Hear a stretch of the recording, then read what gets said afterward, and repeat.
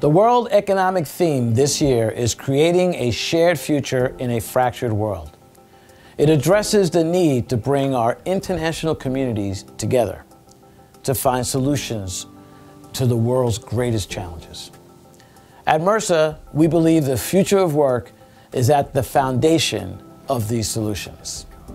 I'm really looking forward to opening our panel called Healthy, Wealthy, and Workwise New Imperatives for Financial Security. It's led by Mercer's global leader, Renee McGowan, where we are exploring one of the hottest and most relevant topics touching every one of our lives.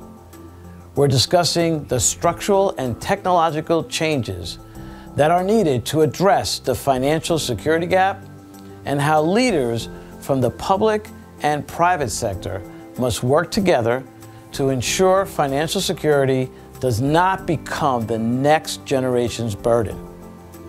Our panel includes leaders from Blue Marble Microinsurance, Adecco, and AARP, as well as the Australian Finance Minister, Mathias Cormann.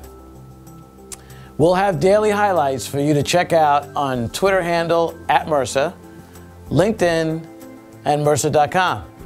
And if you have time to tune in live, We'll be on Facebook and you'll be able to access us by typing in Mercer Insights.